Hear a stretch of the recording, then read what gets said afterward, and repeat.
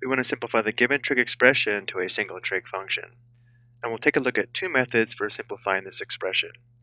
We're given the expression the quantity secant x minus cosecant x divided by the quantity 1 minus cotangent x. Notice how none of the trig functions are squared, so there's no substitutions using these identities, and therefore let's convert all the trig functions to sines and cosines we'll write secant x as 1 over cosine x, cosecant x as 1 over sine x, and cotangent x as cosine x over sine x. So this will give us, again, secant x is 1 over cosine x minus cosecant x is 1 over sine x. In the denominator, we would have 1 minus cotangent x is equal to cosine x over sine x. This is a complex fraction because we have fractions on the top and fractions on the bottom.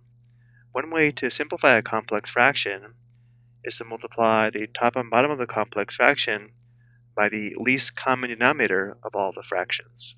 So looking at all the fractions, notice how the least common denominator would be cosine x times sine x, which means to multiply the top by cosine x sine x and multiply the bottom by cosine x sine x. This will eliminate all the fractions on the top and the bottom. And notice how by multiplying the top and bottom by the same factor, we're really just multiplying by 1. So now we have four products, 1, 2, 3, and 4. So looking at the top, for this first product, cosine x sine x times 1 over cosine x, cosine x over cosine x simplifies to 1, and therefore the product is just sine x. And then cosine x sine x times 1 over sine x would also simplify, giving us a product of cosine x, so minus cosine x.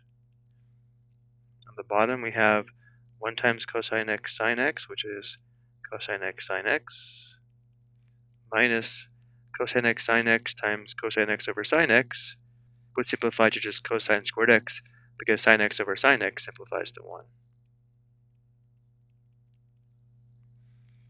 Now notice how the denominator has a common factor of cosine x, so let's factor the denominator.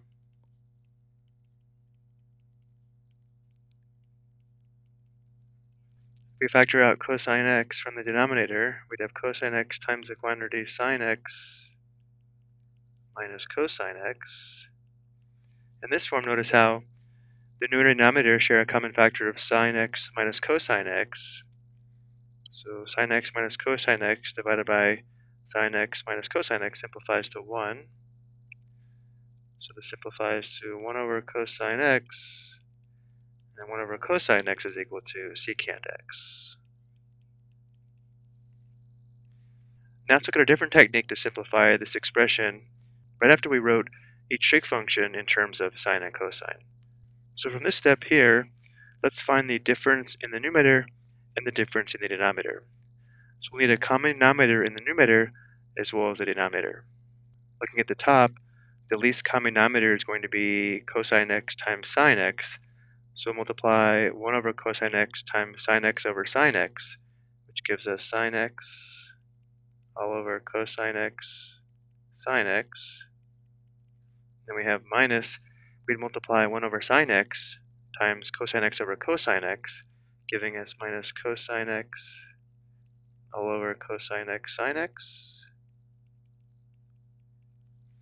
And on the bottom, we'll write 1 as sine x over sine x. So we have sine x over sine x minus cosine x over sine x. Now we'll go ahead and find the differences. So on the top, the denominator is going to be cosine x sine x.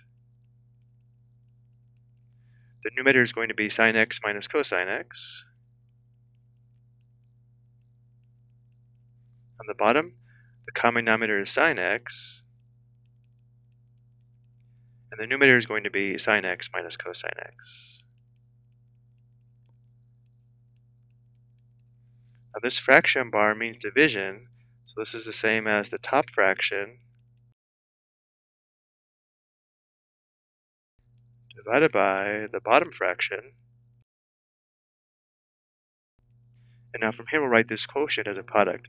Instead of dividing by the second fraction, we multiply by the reciprocal. So the first fraction stays the same. Instead of dividing by the second fraction, we multiply by the reciprocal. So we multiply by sine x all over sine x minus cosine x.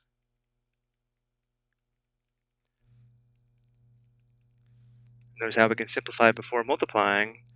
Sine x minus cosine x over sine x minus cosine x simplifies to 1. And so does sine x over sine x. And therefore the product is just 1 over cosine x, which we know is equal to secant x. I hope you found this helpful.